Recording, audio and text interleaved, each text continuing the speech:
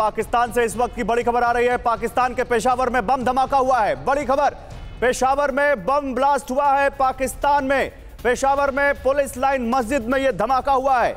इस धमाके में चौदह लोगों के घायल होने की खबर है। बड़ी खबर है। चौदह लोगों के घायल होने की खबर है। पेशावर में यह बम धमाका हुआ है। बम धमाके में चौदह लोग घायल हो गए हैं। पेशावर की एक मस्जिद में यह ब्लास्ट हुआ है। देखिए, ब्लास्ट के बाद कैसे वहाँ अफरा तफरी मच गई।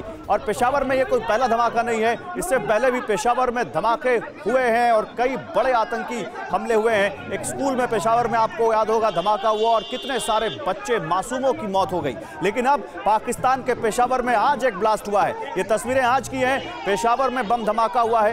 एक मस्जिद में और घायलों की संख्या बढ़कर 35 हो गई है।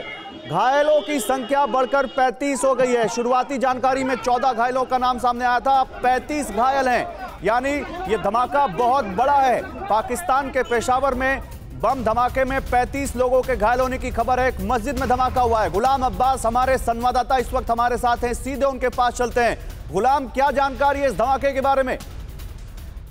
जी, बिल्कुल, ये पिशावर का पुलिस लाइन्स की मस्जिद है, जहाँ पर नॉर्मली भी सौ से डेढ़ सौ लोग नमाज़ पढ़ते हैं डेली और नमाज़ जोहर का वक्त था और की जा रही थी, जो कि एक जोरदार धमाका हुआ, जिसमें अभी तक जो कंफर्म हुआ है, वो 50 लोग इंजर्ड हुए हैं। जो पिशावर का लेडी लेडी हॉस्पिटल है। वहाँ पर 50 जख्मियों को लाया गया है, जिसकी वहाँ के जो स्पोक्स पर्सन उन्होंने कंफर्मेशन की है। और ये जो आई विटनेस वो ये भी कह रहे हैं कि वहाँ पर कुछ डेड बॉडीज भी देखी गई है, लेकिन अभी तक इसकी कंफर्मेशन नहीं हो सकी। जैसा कि मैंने बताया कि नॉर्मली इस मस्जिद में सौ से डेढ़ सौ लोग नमाज़ पढ़ते हैं, और ये जिस समय ये ब्लास्ट हुआ है, उस समय नमाज़ जोहर का टाइम था, नमाज़ ही अदा की जा रही थी। थी जिसकी वजह से ना सिर्फ़ मस्जिद का एक हिस्सा कितने लोग घायल है क्या उनकी हालत है क्या वो स्टेटस है? अभी बताइए क्या इस वक्त? जी बिल्कुल हॉस्पिटल जो है पिशावर का और बाकी हॉस्पिटल में इमरजेंसी नाफज कर दी गई है। पचास इंजर्ड लोगों को यहाँ पर लाया गया है लेडी रिलीज़ हॉस्पिटल में और कहा जा रहा है कि उनमें से काफ़ी क्रिटिकल भी बताए जा रहे हैं जबकि ये भी कहा जा रहा है कि धमाके के नतीजे में कुछ कैजुअलिटीज भी हुई है लेकिन अभी तक उसकी कंफर्मेशन किसी गुलाम जैसे ही पेशावर में धमाके की जानकारी नाम सामने आता है वैसे वो पेशावर के स्कूल के धमाके की खबर दिमाग में कौंध जाती जिसमें बहुत सारे मासूमों की मौत हुई थी। इस धमाके की इंटेंसिटी क्या थी और क्या किसी ने इसकी ज़िम्मेदारी ली है?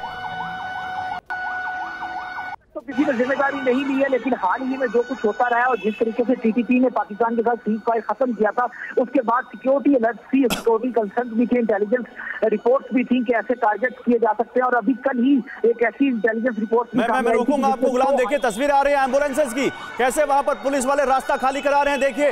अफरा तफरी का माहौल बना हुआ है पेशावर में। ये पाकिस्तान में बम ब्लास्ट के बाद की तस्वीरें हैं। पेशावर में पुलिस लाइन की एक मस्जिद में बड़ा धमाका हुआ है। पैंतीस लोगों के घायल होने की खबर है। देखिए, उस मस्जिद के अंदर की तस्वीरें और मस्जिद में धमाका होने के बाद कैसे एंबुलेंस से घायलों को अस्पताल लेकर जाया जा रहा है, उसकी तस्वीरें दोनों हम आपको दिखा रहे हैं।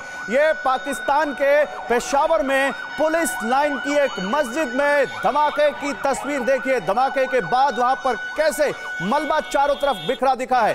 कैसे वहाँ पर अफरा तफरी मच गई। 35 लोगों के घायल होने का मतलब है पचास। देखिए, घायलों की संख्या बढ़कर पचास हो गई है। लगातार घायलों की संख्या बढ़ती जा रही है। और अगर पचास लोग घायल हुए हैं, इसका मतलब धमाका बड़ा था। इसका मतलब एक बड़ी इंटेंसिटी का धमाका हुआ है। और ये बहुत बड़ा एक पाकिस्तान में हमला, अभी आतंकी हमला है। किसने किया है धमाका? ये जानने की कोशिश करते हैं। गुलाम अब्बास हमारे संवाददाता हमारे साथ है। गुलाम किसका हाथ बताया जा रहा है? इस धमाके के पीछे में कुछ बताया पता चला है? जी देखिए, मैं मैं आपको एक ब्रेकिंग खबर देता जाऊँ कि जो वहाँ पर हमारे सिक्योरिटी ऑफिशियल्स हैं, उनसे जब बात हुई है तो ये कहा जा रहा है कि ये सुसाइड अटैक था और जिस शख्स ने ये सुसाइड अटैक किया, वो नमाज़ के लिए सबसे पहली जो लाइन थी, उसमें खड़ा हुआ था कि जैसे ही नमाज़ शुरू हुई है तो उसने अपने आप को उड़ा लिया। ये इनिशियल रिपोर्ट है जो कि अभी तक हम तक पहुँच रही है, जिसमें ये कहा जा रहा है कि जो सिक्योरिटी ऑफिशियल्स हैं, वो ये बता रहे हैं कि ये सुसाइड अटैक था और जो सुसाइड अटैकर था, जो खुदकुश बब्बार था, वो मस्जिद के अंदर ही नमाज़ के दौरान मौजूद था, जिसने अपने आप को धमाके से उड़ाया है हालाँकि इसकी अभी तक ऑफिशियली तौर पर कोई जाँच नहीं दी जा रही कोई इन्फॉर्मेशन नहीं दी जा रही लेकिन जो खबर पहुँच रही है जो सूत्रों सूत्रों से इन्फॉर्मेशन पहुँच रही है उसके मुताबिक ये धमाका सुसाइड बहुत बड़ी खबर गुलाम बहुत बड़ी खबर गुलाम आप रहिए मेरे साथ। एक सुसाइड बॉम्बर ने आत्मघाती हमलावर ने जिसने नमाज़ जो नमाज़ की सबसे पहली लाइन में खड़ा था खुद को उड़ा लिया और उसके बाद वहाँ पर एक बहुत बड़ा धमाका हुआ।